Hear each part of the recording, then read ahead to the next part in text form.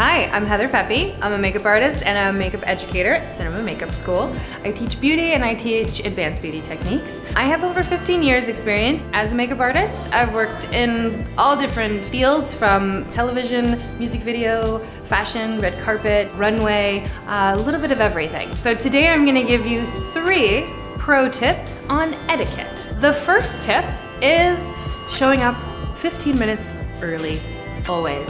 In LA, especially a city where traffic is such a big part of our life, that could never ever be an excuse for why you're late to set. So every time I have a job, whatever my call time is, if it's 11.15 or it's 11.30, I check my timing and make sure I'm going to arrive 15 to 20 minutes before my call time.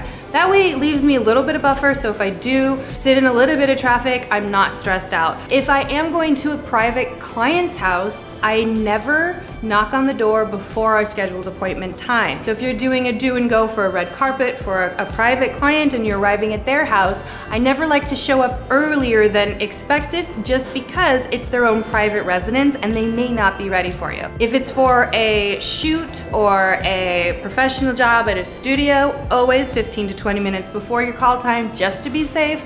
And then if it's a private client, I always arrive early, make sure I have a good parking spot, but I don't knock on the door until exactly the time of our scheduled appointment. My second pro etiquette tip is always have a set bag prepared and ready to go. No matter what job you're going to, even if you're assisting somebody and they're like, you don't need to bring your kit, always just have a set bag because you always need your set bag. I always have a set bag packed and ready to go with me in my trunk. Anything that I could possibly use, disposables, tissues, alcohol spray, sanitizer, little floss, little picks, maybe disposable toothbrushes, baby wipes always, and then I kind of modify it depending on what that job is. So there's always extra space, but I always have the essentials packed and ready to go to save me time on set. So when I do need to run to set, I can just grab a couple of the touch-up products that I need for my model and then just run and everything else is already ready to go. My third and final pro etiquette tip is to pay attention to your client. When you have a client in the chair, pay attention to their needs and their comfort level. Make sure that you're always aware. Sometimes we're doing things where we're very close to the eye or we're very close to the face.